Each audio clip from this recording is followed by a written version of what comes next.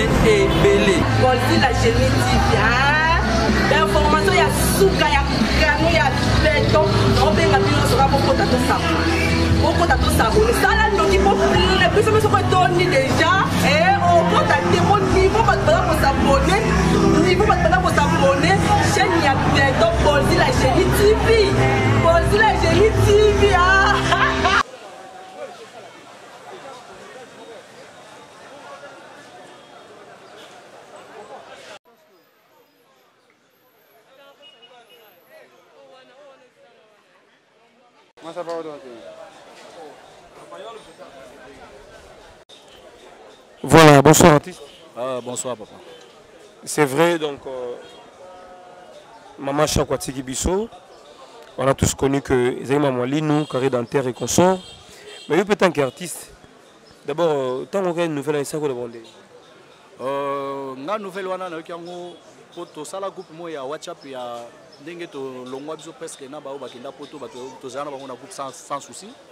euh, moto abandaki mambo yango eza amanda amanda bime bino bato boza na kini boverifie na information nayoki keno mama shako akufi euh, mama eyenga abi or oh, amanda Est-ce que bautaki kokosela mbata siala wake no mbata siala kufi est ce que eza no kaka ya lokuta mare adoute nga moko nazwi telefone na ngai nabengi numero ya mare esone sone sone sone sone moto ayamba aza te naye kobenga dokta mobali ya mama shako nabengi ye nasi docteur boni ono bien boni mare asa non euh, mare euh, euh, nzoto esa neti mwa malaise mais tozokendaka na hg tozongaka mais lobi basimbaki ye kuna ah nazwi nano mwa réserve Après, naye kobenga suni mema mère nayambi mutu. Gaso mwa azalaki na telefone ase ono nga de mwana mama mashako nga se neni mère ote na minute oyo mère adaye nga ah. nga se mo safari ya groupe sans souci mba moko ta na kati ye moko rappeler nga non pardon bengela nga président Lombe bengela nga président Lombe po corps po elongwa esenga fo présence ya président Lombe naye obenga président Lombe président Lombe asenga non naza naza déjà na entrée donc nazo kota ata wana déjà donc maman azali maman oyo biso ba, ba, ba, ba safari euh, mois de juin ezali mwa moko neti ya mabe mpo na famille nyonso ya sans souci ouais mpo parce que euh, mardi le 23 juin 2009 sans souci akufi mardi le, le, mardi le, le 15 juin mama shako atiki biso donc donc mpona biso mois de juin bamardi ya mois de juin donc e, eza mabe mpona na biso donc e, mama shako aza lere sans souci aza vivant mama shako azalaki vice présidente ya groupe sans souci groupe sans souci na logique de choses esalema na, na ndako ya mama shako na kimbanseki René. Non, awa te na bandal. Donc wana baza na, na papa René Kimbatseki aza na na poto. Donc groupe sans souci salemi wana. Première répétition sama na Mbaki na Ngaba. Ah, donc wana fait wana fait nini? Beza ba 88. Ah, donc wana esalema déjà na na Ngaba. Donc naza na, na moi histoire wana. Yo oza génération ba ba 90? Non, nga naza génération ya ba na ye na ba 98 98 99 wana mpo tokota 99 oye 10 ans après 10 ans après donc ti na ye olongwa groupe sans, sans souci donc bon toza na toza lelo ndenge tozali donc bamama shako babokoli biso bakolisi biso bamama eyenga toza nazala bango eh, baomeka kibala bazazaza na bapoto babali na groupe sans souci eh, bafololo lelo bafololo baza na biso to babali mpe kaka na groupe sans souci ba anita toza ebele donc toleki ebele na groupe sans souci mama lolendo oyo avandi mama lolendo eh. baviviane bango wana donc eza base mpenza ya groupe sans souci donc biso mpenza ko toyei kolela mpenza mare de mare cheke mare toye kolodo nde tovandi ya base mpenza ya sans souci donc mama shako azongisi biso lisusu na souci ya mwa oyo tozalaka keno tokende kotala père na biso sans souci ye pa ye kosiprendre biso donc asali biso surprise moko désagréable donc ezolekela biso donc mwa mwa oyo ya juin oyo donc ezotika biso na basouvenir moko epuis bamardi donc ezosala biso kitoko te mpenza Voilà, artiste euh, Safari Torzong la mère, c'est vrai, maman Chako Akei, mais il que brisqué le monde entier, hein, parce que mère Pena, bah, il était qui tant que maladive. Hein. Biso nyonso, biso nyonso na Congo, artiste comédien nyonso, mutatiela ko yeba mère obela zati. Eh, mutu moto ya ko eh, er mo aza mutu abelaka, eh, moi moi ba malaise, moi ba fièvre, moi ba nini, mais po yo ka mère, non mère, aza grave. toyebi bango te oke tosutuki kosutuka mere adaye tosutuki kosutuka donc voilà elle est partie c'est vrai nous sommes choqués alors euh, quels sont peut-être eh, baide boza au niveau ya groupe yo longwa groupe tozalaka na groupe na longwa groupe sans souci soki bolongo mpe mwa ebele pourquoi esengaki ndenge wana kokabwana eza na yango biblique amos 33 bato mibale so bayokani te bakotambola nzela moko te wana ezalaka verset chéri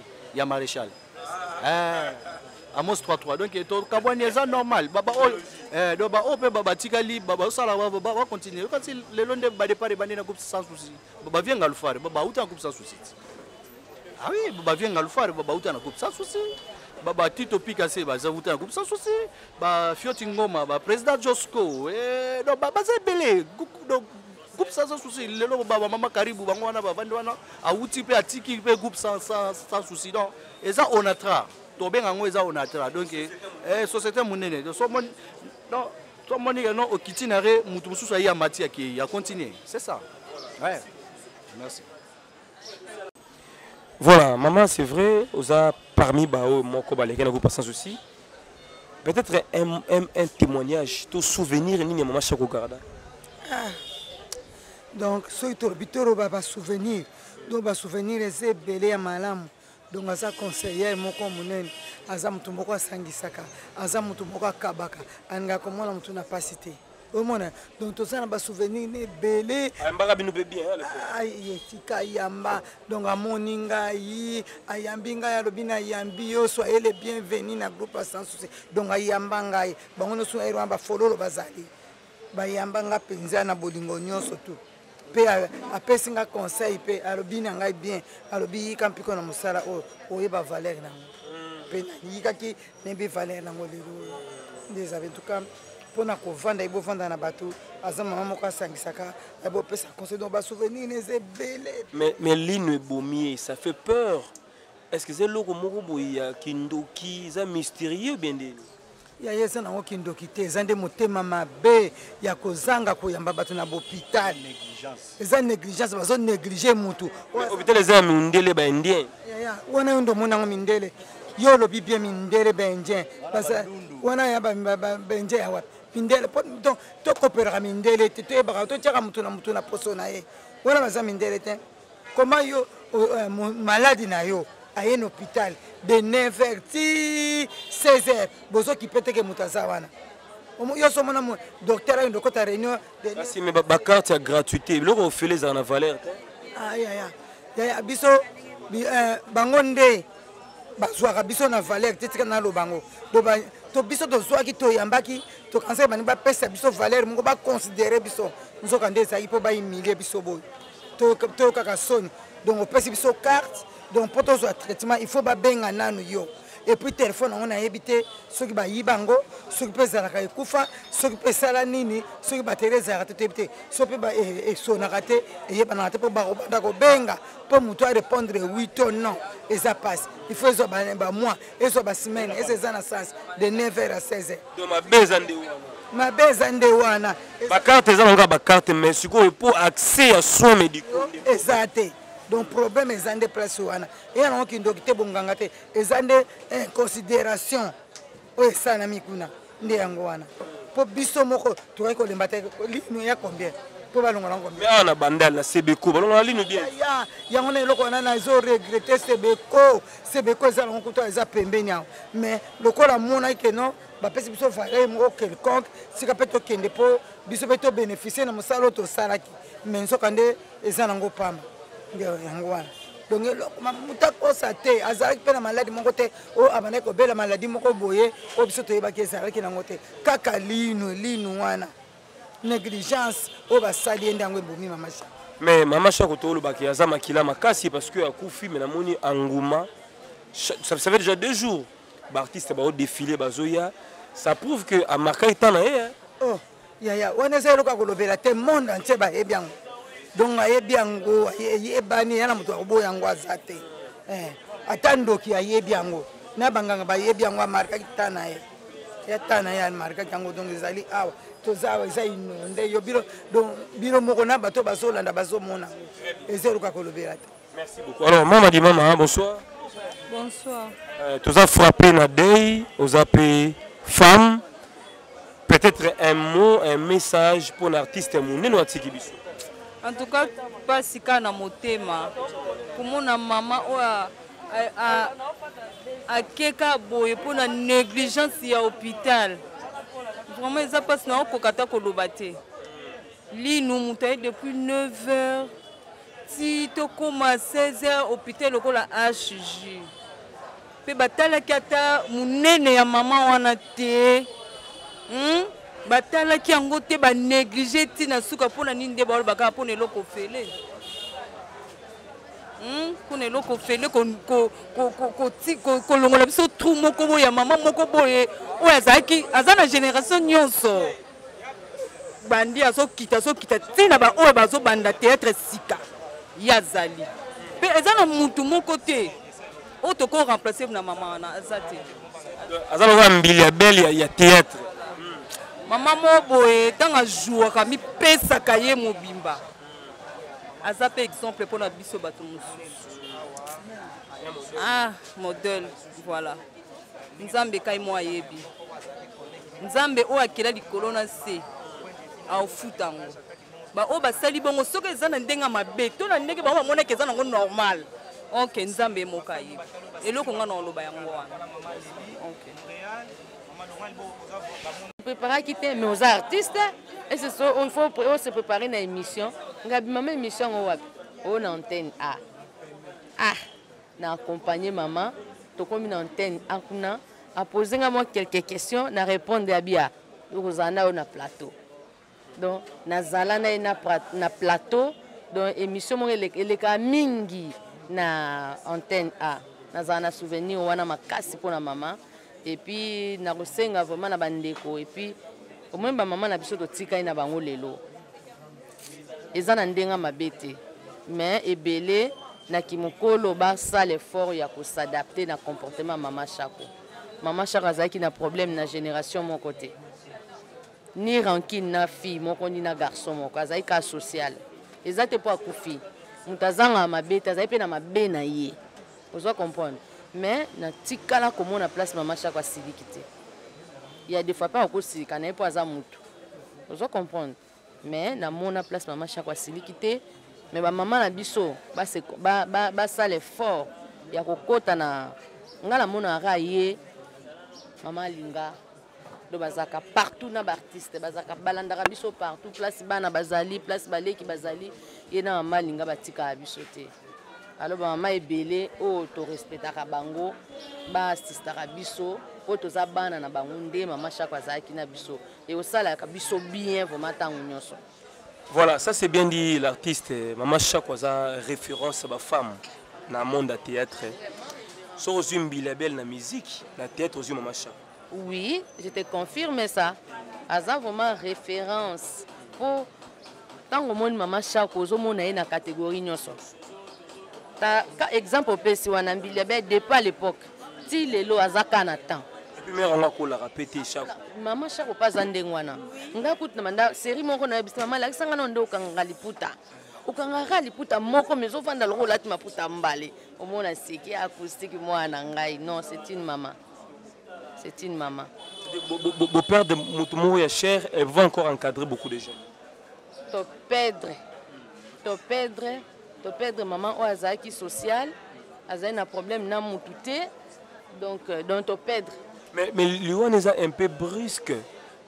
parce que à cause ka ya linu mama ki ozomona yango tokobaka eza maladie moko yaki mystérieuse ou bien ça peut aussi arriver ne bobeti liso ya négligence non nakoloba négligence te nakoloba mpe ya esprit te puisque ça arrive moto akokufa mpe na se apongi moto akokufa mpe abeti libako akufi mais pourquoi ke balongoli motu mino akokufa te non eya maladi Mutu pa kufa na fièvre. Mais lisolo ba carte na bino ba bino pona hôpital HJ. Eza ba carte moko étiquette ka toloba. Carte étiquette par rapport à quoi? Mutu oyo asalaki don wana asalaki yango étiquette? Non. Eza carte bakendaka bazwaka traitement aza mutu ya liboso te. Considération nde. Oh, mais moi je regrette. So ba lobaki considération exacte. Alors depuis quand tu as né banda depuis année passée. Et si là na juillet ah si je me trompe pas. Donc 11 mois oyo esali wana bango nyonso bacomédien nyonso oyebi baleka wana donc bato nyonso bazwa karte bango nyonso baleka eza na moko azanga te bango bazalaka néglige na tour na bango te donc tour ya mama chakoka eza néglige non ekomi ekomi mais pareil ya ndimosi mpe auti osouffrir kuna il était abandonné entre guillemets azalaki abandonné comment azwi traitement na ye normal azwi traitement na ye normal azongi ndako aza sikoyo na ndako epai na ye na kasavubu eza azwi traitement na ye normal tu, tu encourage les cartes bozala no bacarte mamoli mama mama denise bozala no bacarte yango Oh, obele batelemeli yango bakarte yango tokenda na hg kuli bapesi mama shako mbetu te bona bo biloko ya gratuité nga en tout cas soki en tout cas je suis franc soki mutu akozala euh, reconnaissant te na don wana en tout cas dieu juste nzambe aza juste eza normal te po eza don oyo moto avandi asali yo eza loko ovandaki oyebi eloko te moto ayaka abeli yo 10 000 francs ozalaki na nzala osombeli yango lipa osisi olia otondi olobi ya 10 000 francs esali nga nini non ce n'est pas bien ce n'est pas bien bato bakoki koignore eloko oyo te bakoki mpe koboya yango mpe te mpo toyebi baka ebele bakomedi ebele oyo baza wana ebele bakotisa meme ibactere na bango oyo baza meme mpa na nkombo bazwaka traitement baloba nde ke barevendike ke bato oyo basalaka eloko wana basala yango na injustice ke bakotisa bakomedien nyonso te basala injustice la sava neti yo mpoza na karte na yo na carte te yo ozomerite yango te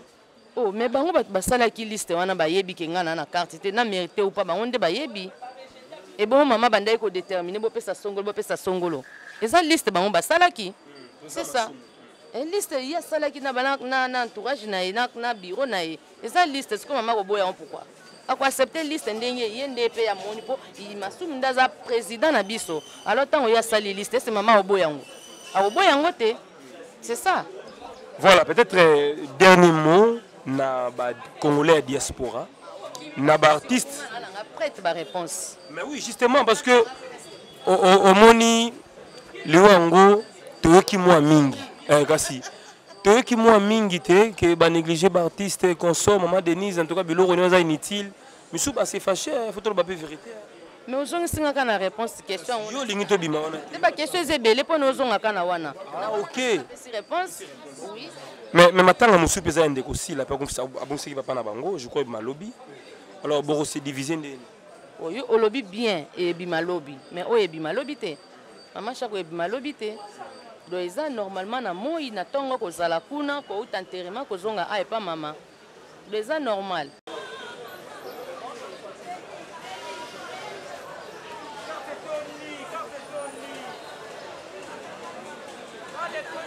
Oh, oh, oh.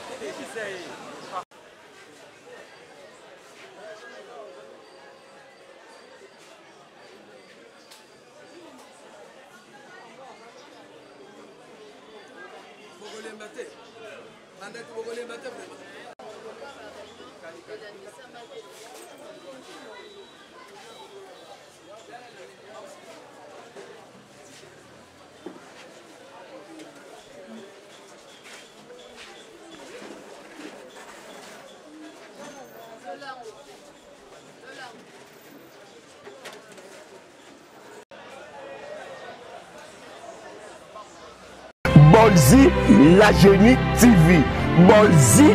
la genie tv ya sika eye bolzi la genie tv tosabone massivement awa awa nde makambo so olingi omona bagadi ya bion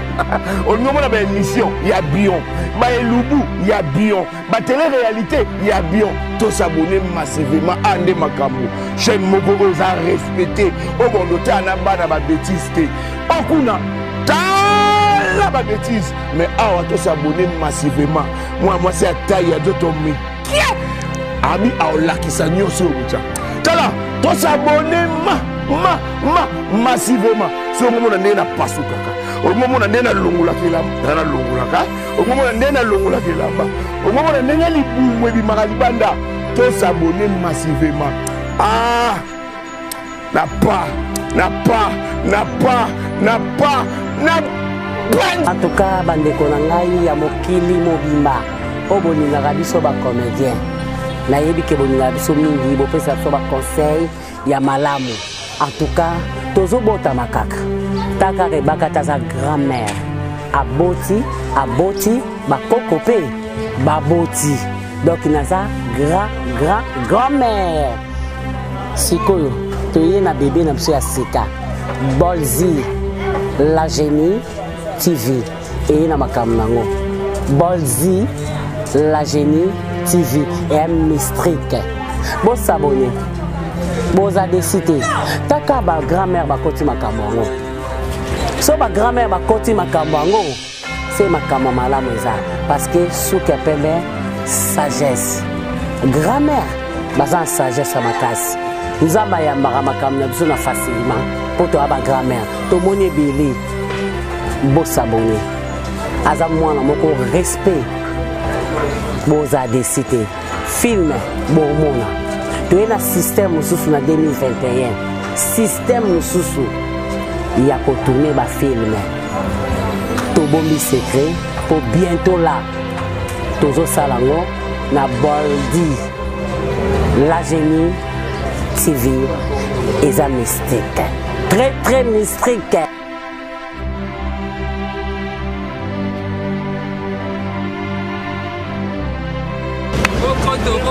bokoto lere grave lere grave bolzila geni tv bamisa na mikolo ya mwana so na makambo ya bien so na makambo ya kitoko bolzila geni tv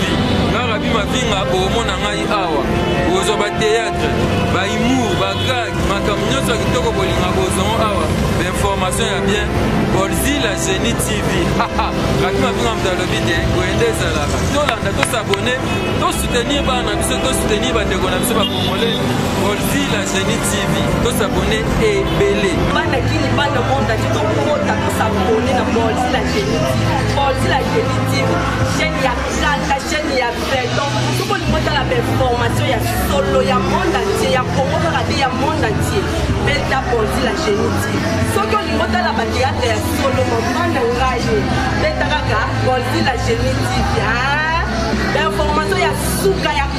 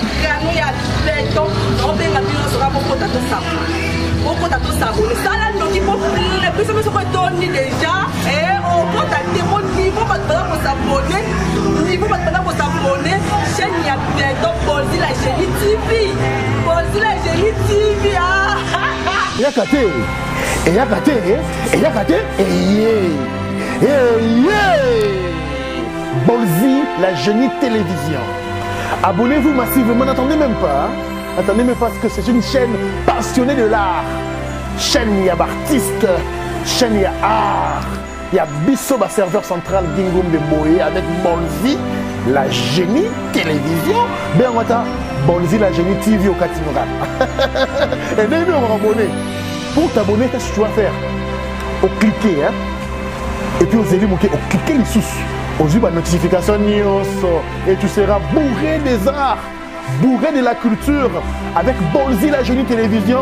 on ne marche que pour la recherche de la vérité. Pas de tromperie, hein, beaucoup si peu trop, à Alors, euh, je vous invite, vous des États-Unis, vous qui êtes en Amérique, en Océanie, en Afrique, en Europe, abonnez-vous, abonnez-vous en cascade, abonnez-vous merci, brutalement même. Bolzi la génie télévision, nous y sommes, nous y resterons jusqu'à ce que nous mourrons Ensemble avec Bolozi. Bolozi yo. Bolozi yo. Bolozi ya yo. Ya ye. Ya bango. Ya biso. Nyonso. Chitop. Check. Pas pareil. Pour tous nos fans, tous nos abonnés, il y a maintenant chaîne à Sikeye. Bolzi la génie TV. Je bien dit Bolzi. Hein? B-O-L. Hein? S.